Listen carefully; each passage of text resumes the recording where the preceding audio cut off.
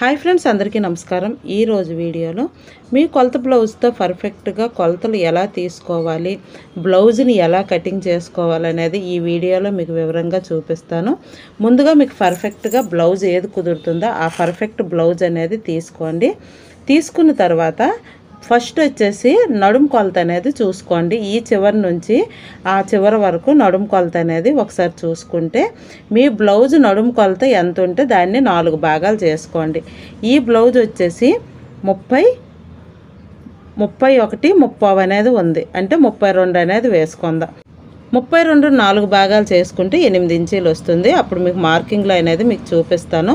ముందుగా లైనింగ్ అనేది తీసుకోండి. ఈ బ్లౌజ్ని పక్కన పెట్టి ముందుగా లైనింగ్ తీసుకొని లైనింగ్ని రెండు పొరలుగా వేసుకొని క్లోజ్ అనేది మన సైడ్ ఉండాలి ఓపెన్ అనేది అవతల సైడ్ ఉండాలి. కింద ఏమాత్రం హెచ్చు తగ్గులున్నా స్ట్రైట్గా ఒక లైన్ అనేది డ్రా చేసుకోండి. డ్రా చేసుకొని కింద హెచ్చు తగ్గులు ఉంటాయి కదా ఆ డ్రా చేసుకున్న హెచ్చు తగ్గుల్ని కటింగ్ చేసుకోండి. ఇప్పుడు కొలత బ్లౌజ్ తీసుకొని కొలత బ్లౌజ్ పొడవు అనేది చూసుకోండి. కొలత బ్లౌజ్ పొడవు ఎంత ఉంటే దానికి వన్ ఇంచ్ అనేది ప్లస్ చేసుకోండి. ఈ భుజం నుంచి భుజం కుట్టు ఉంది కదా భుజం కుట్టు నుంచి కింద వరకు ఎంత లెంత్ ఉంటుందో చూసుకోండి. ఈ బ్లౌజ్ లెంత్ వచ్చేసి పద్నాలుగున్నర ఇంచీలు ఉంది.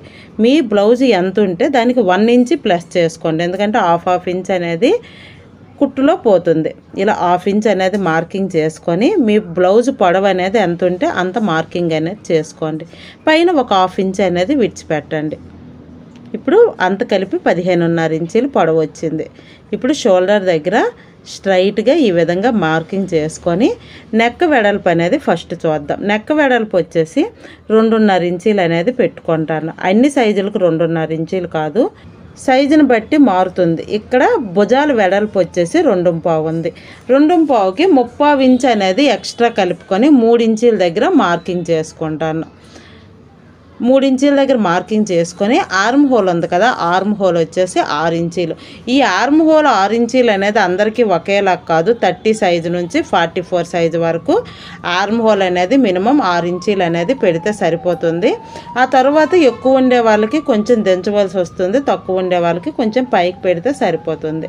ఇప్పుడు చెస్ట్ ముందుగా నడుం భాగం అనేది చూద్దాం. నడుం భాగం వచ్చేసి ముప్పై రెండు ఇంచీలని నాలుగు భాగాలు చేసుకుంటే ఎనిమిది ఇంచీలు కదా. ఎనిమిది ఇంచీల దగ్గర ఒక మార్కింగ్ చేసుకొని వన్ ఇంచి వచ్చేసి డాట్స్ కోసం పెట్టి ఎక్స్ట్రా ఖర్చు కోసం ఒక రెండు ఇంచీల దగ్గర మార్కింగ్ చేసుకోండి. ఇప్పుడు తొమ్మిది ఇంచీలు వచ్చింది కదా. పైన ఒక హాఫ్ ఇంచ్ అనేది ఎక్స్ట్రా పెట్టి మార్కింగ్ అనేది ఈ విధంగా చేసుకొని లైన్ అనేది డ్రా చేసుకోండి. ఇక్కడ కింద తొమ్మిది ఇంచీలు వచ్చింది కదా పైన వచ్చేసి తొమ్మిదిన్నర ఇంచీలు కదా. హాఫ్ ఇంచి ఎందుకు యాడ్ చేశానంటే కొన్ని కొన్నిసార్లు వెనక వచ్చేసి లాగినట్టు ఉంటుంది. ఆ లాగకుండా ఉండడానికి హాఫ్ ఇంచ్ అనేది ఎక్స్ట్రా పెట్టుకుంటాను. మీకు అవసరమైతే హాఫ్ ఇంచ్ అనేది ఎక్స్ట్రా తీసుకోండి. లేదు అంటే అవాయిడ్ చేయండి. అది మీ ఇష్టం. నేనైతే మాత్రం ఒక హాఫ్ ఇంచ్ అనేది ఎక్స్ట్రా అనేది పెట్టుకుంటాను. ఖర్చుకి ఒక రెండు ఇంచీలు అనేది ఎక్స్ట్రా మార్కింగ్ అనేది చేసుకోవడం. ఇప్పుడు నెక్ తీసుకుందాం. కొలత బ్లౌజ్ తీసుకొని కింద వచ్చేసి పట్టి ఉంటుంది కదా అది ఎంత వెడ ఎంత పొడవు ఉందో చూసుకోండి. ఇది వచ్చి నాలుగు ముప్పా ఉంది. నాలుగు ముప్పా ఉంది కదా ఇప్పుడు ఆల్రెడీ నేను కింద వచ్చి ఒక హాఫ్ ఇంచ్ దగ్గర మార్కింగ్ చేశాను కదా అక్కడ నుంచి పైకి నాలుగు ముప్పావు దగ్గర ఈ మార్కింగ్ నుంచి పైన ఒక నాలుగు ముప్పావు దగ్గర ఒక మార్కింగ్ చేసుకోండి. తర్వాత ఒక పావు అనేది ఖర్చు కోసమని ఒక మార్కింగ్ చేసుకోండి. ఇప్పుడు నెక్క పొడవు అనేది చూద్దాం. నెక్క పొడవు మధ్యలో ఎంత ఉందంటే తొమ్మిదిన్నర ఇంచీలు ఉంది. తొమ్మిదిన్నర ఇంచీలు ఉంది కదా పైన రెండున్నర పెట్టాము కింద వచ్చి మూడు ఇంచీలు అనేది పెడతాను. కింద బ్రాడ్గా మీకు వద్దు అంటే రెండు ముప్ప పెట్టండి. ఇంకా తగ్గించుకొని పెట్టాలి అని అంటే ఒక్కొక్కసారి నెక్ వచ్చి లెంత్ ఎక్కువ ఉన్నా సరే బ్రాడ్ అనేది తక్కువ కావాలంటారు. అలాంటి వాళ్ళు ఏంటంటే పైన రెండు పావు పెట్టండి కింద వచ్చి రెండున్నర పెట్టండి. ఇప్పుడు పైన రెండున్నర కింద ఇంచులు పెట్టి రౌండ్ నెక్ తీసుకున్నాను కదా ఇప్పుడు ఆర్మ్ హోల్ చూద్దాం. ఇలా ఒకటిన్నర ఇంచీ కానీ ఆర్మ్ హోల్ పెట్టుకుంటే తొమ్మిదిన్నర ఇంచీల నెక్కకి ఒకటిన్నర ఆర్మ్ హోల్ కానీ పెట్టుకుంటే ఇక్కడ వచ్చేసి ముడత వస్తుంది. నెక్ డీప్ బ్రాడ్ ఉన్నప్పుడు ఇక్కడ చంక దగ్గర వచ్చేసి మీరు తగ్గించేయాలి. ఇక్కడ నేను వచ్చేసి వన్ ఇంచి మాత్రమే పెడతాను. ఆర్మ్ హోల్ షేప్ కోసము పైనుంచి మూడు ఇంచీల దగ్గర మార్కింగ్ చేసుకొని మూడు ఇంచీల దగ్గర వరకు స్ట్రైట్గా లైన్ డ్రా చేసుకొని తర్వాత ఆర్మ్ హోల్ అనేది షేప్ తీసుకోవాలి. ఈ మూడు ఇంచీలు ఎందుకనంటే ఓన్లీ షేప్ కోసమే మూడు ఇంచీల దగ్గర మార్కింగ్ చేసుకుంటాను. అది మీకు చూపించడానికి. ఏమాత్రం నెక్ కానీ జారితే ఒక పావు ఇంచ్ అనేది డౌన్ చేసుకోండి నెక్ సైడ్. ఇప్పుడు ఏదైతే మార్కింగ్ చేసుకోనమో ఆ మార్కింగ్ చేసుకుంది కటింగ్ చేసుకోవడం. కటింగ్ చేసుకున్న తర్వాత ఇప్పుడు ఈ మార్కింగ్ ఉంది కదా ఈ మార్కింగ్ వరకు సగానికి ఫోల్డింగ్ చేసుకోవాలి. ఫోల్డింగ్ చేసుకొని చిన్నగా కట్ చేసుకోండి. ఇది వచ్చి డాట్ కోసం. ఇప్పుడు మీరు కొలత బ్లౌజ్ తీసుకోండి. మీకు డాట్ ఏమాత్రం డౌట్ ఉంటే కొలత బ్లౌజ్ తీసుకోండి. కొలత బ్లౌజ్ డాట్ ఎంత ఉంటే దానికి ఒక హాఫ్ ఇంచ్ అనేది ప్లస్ చేయండి. ఎందుకంటే కుట్లోకి పోతుంది. ఇది నాలుగు ఇంచీలు ఉంది కదా. నాలుగు ఇంచీలకి వన్ ఒక హాఫ్ ఇంచ్ ప్లస్ చేసుకుంటే నాలుగున్నర ఇంచీలు అనేది మార్కింగ్ చేసుకొని అటు హాఫ్ అటు హాఫ్ ఇంచ్ ఇటు హాఫ్ ఇంచ్ అనేది మార్కింగ్ చేసుకొని ఈ విధంగా లైన్ అనేది డ్రా చేసుకోండి. కలిపియండి. ఇప్పుడు డాట్ అనేది రెడీ అయ్యింది. ఇప్పుడు అప్ కోసమని పైన అప్ చేయండి ఒక హాఫ్ ఇంచి.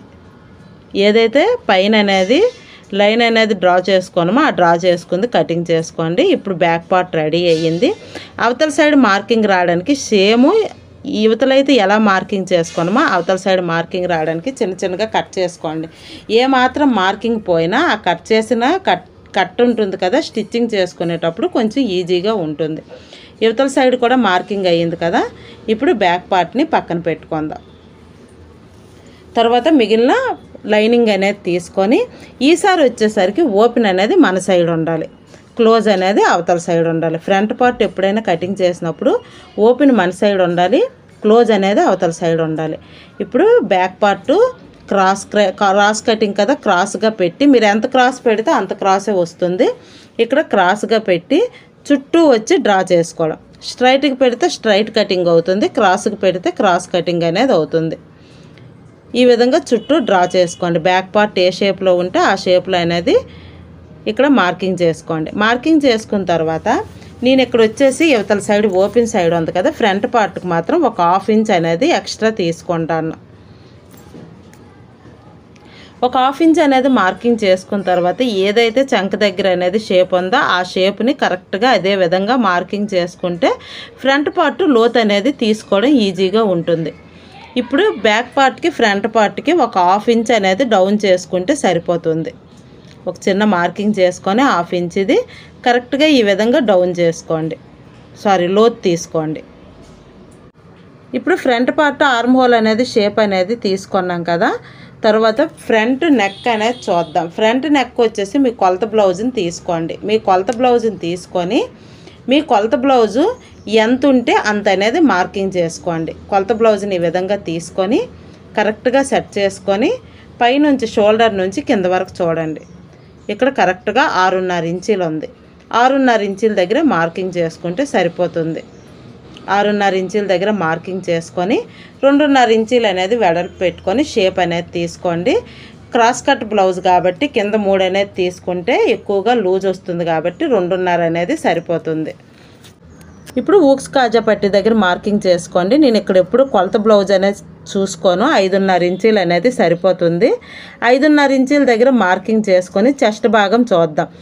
బ్యాక్ పార్ట్ తొమ్మిదిన్నర పెట్టాం కదా ఫ్రంట్ వచ్చేసరికి పది ఇంచీలు. ఒక హాఫ్ ఇంచ్ అనేది ప్లస్ చేస్తాను. తర్వాత పొడవు. పొడవు ఎంత బ్యాక్ పార్ట్ ఎంత వచ్చింది? పదిహేనున్నర ఇంచీలు వచ్చింది. పదిహేనున్నర ఇంచీల దగ్గర మార్కింగ్ చేసుకొని పైన వన్ అండ్ హాఫ్ ఇంచ్ అనేది ఒక మార్కింగ్ చేసుకోండి. అంటే పదిహేనున్నరలో ఒకటిన్నర ఇంచి మైనస్ చేస్తే పద్నాలుగు ఇంచీలు. ఆ పద్నాలుగు ఇంచీలే ఈ బ్లౌజ్ పొడవు. ఎంత పొడవు ఉంటే దానికి ఒకటిన్నర ఇంచి అనేది మైనస్ చేయండి. కింద పది ఇంచీలు చెస్ట్ భాగము తర్వాత కింద పైన పది పది ఇంచీలకి చెస్ట్ భాగం తీసుకొని మార్కింగ్ ఈ విధంగా చేసుకున్న తర్వాత ఇప్పుడు ఇప్పుడు పెద్ద డాట్ అనేది మార్కింగ్ చూద్దాం. మధ్యలో ఈ విధంగా టేప్ పెట్టండి. షోల్డర్ మధ్యలో టేప్ పెట్టి షోల్డర్ మధ్యలో ఒక మార్కింగ్ అనేది చేసుకోండి. మార్కింగ్ చేసుకొని ఆ మార్కింగ్ నుంచి మధ్యలో టేప్ పెట్టి ఒక రెండున్నర ఇంచీలు అనేది ఈ విధంగా లైన్ అనేది డ్రా చేసుకోండి. ఇటు సైడ్ ఒకటింపావు అటు సైడ్ ఒకటింపావు అనేది మార్కింగ్ చేసి ఈ విధంగా షేప్ అనేది అంటే పైన కింద కలిపియండి. కలిపేసిన తర్వాత ఇవతల సైడ్ ఓపెన్ సైడ్ ఉంది కదా ఓపెన్ సైడ్ కింద నుంచి పైకి ఒక వన్ ఇంచ్ దగ్గర మార్కింగ్ చేసుకోండి. అంటే దీని మధ్యలో ఎంత వస్తుందో ఒకసారి చూసుకోండి. ఇక్కడ ఏడు ఇంచీలు వచ్చింది. ఏడు ఇంచీలు వచ్చింది కదా ఇప్పుడు షేప్ తీసుకుందాం. షేప్ తీసుకున్న తర్వాత మీకు కొలత బ్లౌజే కావాలని అంటే కొలత బ్లౌజ్ అనేది తీసుకోండి. కొలత బ్లౌజ్ తీసుకున్న తర్వాత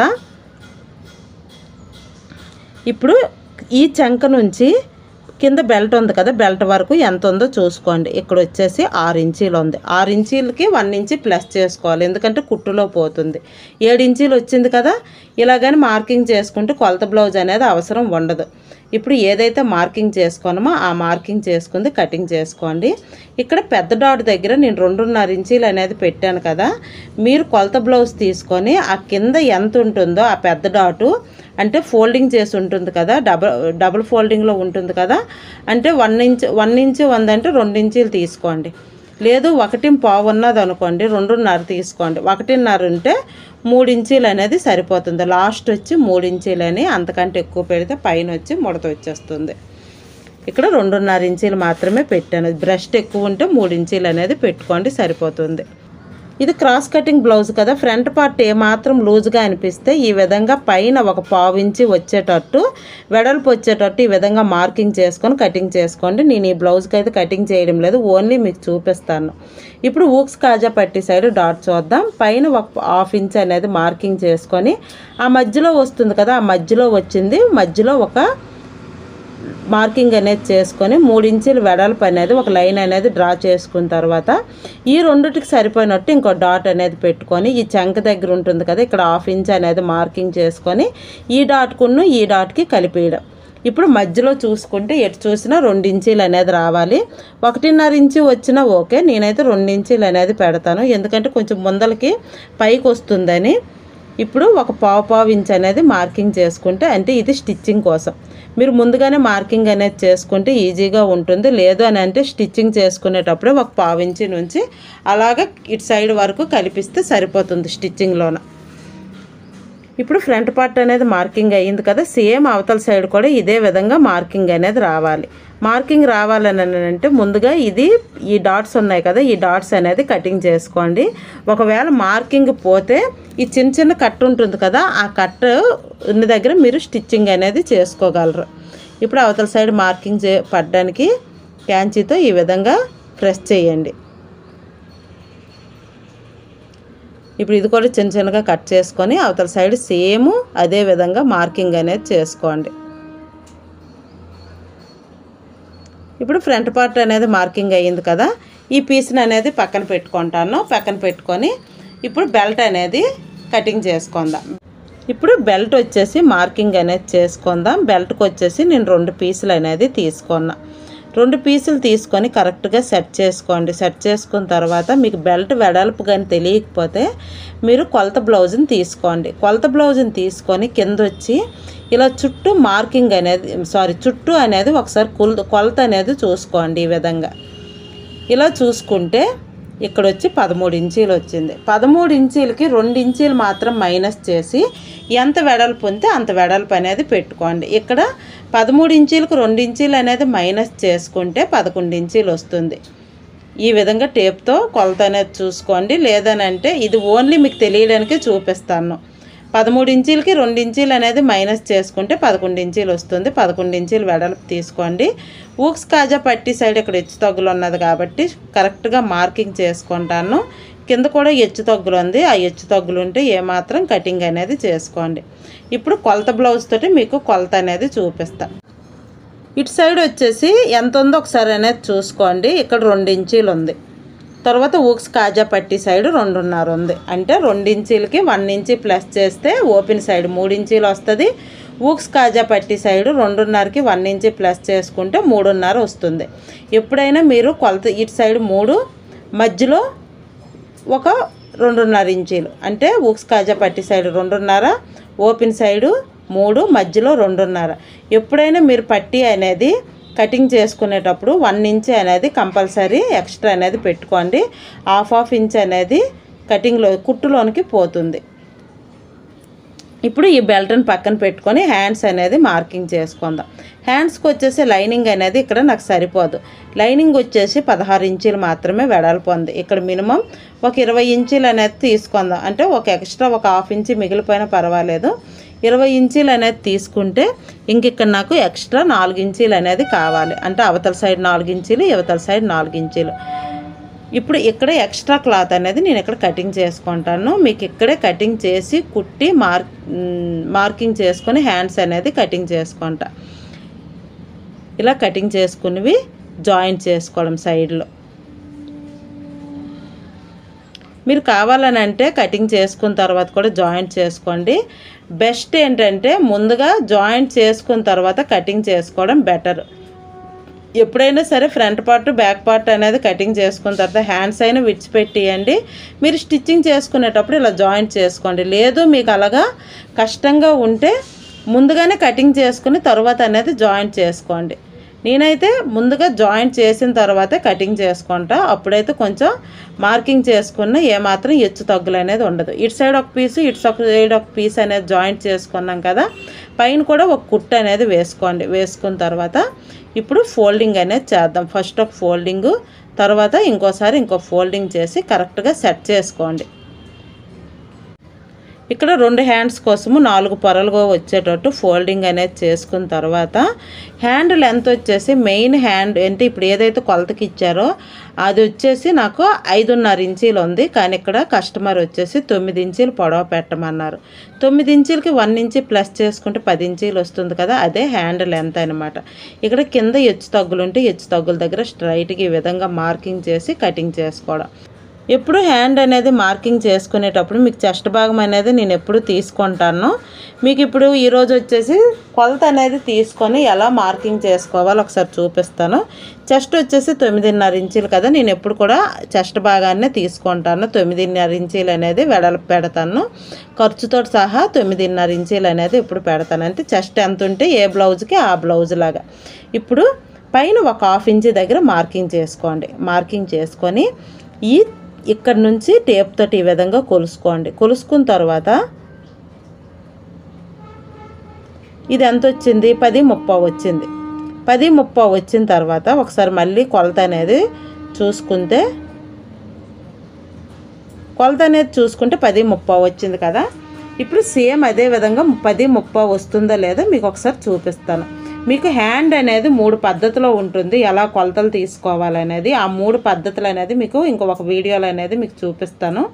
ఇప్పుడు ముందుగా హ్యాండ్ లెంత్ వచ్చేసి తొమ్మిది ఇంచీలు కదా వన్ ఇంచీ ప్లస్ చేసుకొని పది ఇంచీల దగ్గర మార్కింగ్ చేసుకొని హ్యాండ్ వెడల్పు వచ్చేసి తొమ్మిదిన్నర ఇంచీల దగ్గర ఈ విధంగా మార్కింగ్ చేసుకున్నా.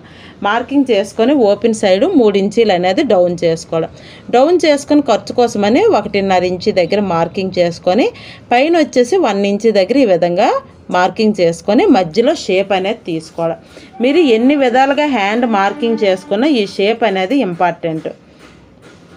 ఇప్పుడు షేప్ తీసుకున్న తర్వాత కింద వచ్చేసి లూజ్ వచ్చేసి ఐదున్నర ఇంచీలు. తర్వాత రెండు ఇంచీలు అనేది ఎక్స్ట్రా ఖర్చు కోసం. ఇప్పుడు పైన కింద కలుపుకొని ఏదైతే మార్కింగ్ చేసుకోనమో ఆ మార్కింగ్ చేసుకుంది కటింగ్ చేసుకోవడం.